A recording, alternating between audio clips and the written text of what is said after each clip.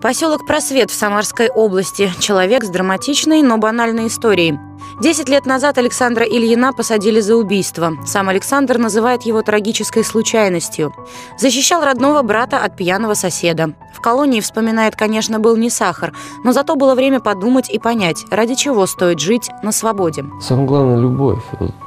Как вот, может быть, там и заезжено вроде все там, да, любовь, любовь. Но самое главное – любовь. То есть, если есть любовь в сердце, если я люблю своих там близких, да, там, конечно, я говорю, многое сразу тормозит, и я, ну, от многого сразу там Глядя на эту семью, и не скажешь, что еще прошлой осенью Александр был в местах не столь отдаленных.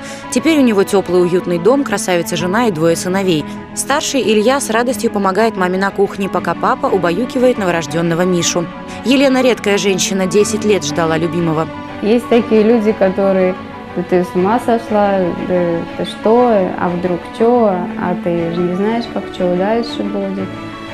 Ну, стараешься как-то не прислушиваться, то есть слушаешь себя, если ты человеку, человека любишь, доверяешь, то, есть, то ждешь. Они поженились в 2007-м, тогда Александр отсидел меньше половины срока. У Елены не было ни белого платья, ни свадебного путешествия, но она об этом не жалеет. Теперь просто хочет жить обычной жизнью и беречь мужа.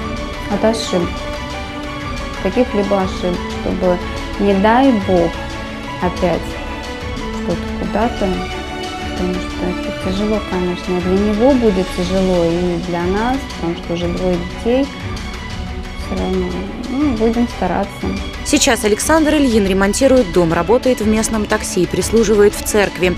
Говорит, на путь истины его наставила именно вера. После освобождения мужчина пришел к настоятелю прихода, исповедался и остался. Слава Отцу и Сыну и Святому Духу, и ныне и во веки веков. Аминь. После мест столь отдаленных, сами понимаете, свобода, мы всего можем. А попадая в храм, человек, он этого всего немножко как бы сам себя ущемляет в этом, да? Просто я увидел в Александре, в его глазах веру, а это ну, не так часто встретишь. Планов на будущее у Александра предостаточно. Все-таки двух мальчишек на ноги нужно ставить. Тут в первую очередь у меня на следующий год, конечно, это забор. Смена забора, потому что домик вроде немножко чуть-чуть привел жилое помещение. А забор, конечно, безобразный. Ну, вот надо будет заменять следующий год. Здесь, короче, у меня вот там баня, тоже сломал сейчас ее. Она потому что, ну, что-то дымить начала, надо перестраивать полностью. И здесь и сарай вот здесь. Я вот хочу баню с сараем объединить, ну, как комнату отдыха сделать.